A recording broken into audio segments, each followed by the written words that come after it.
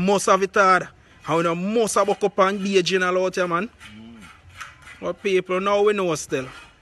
You big up yourself.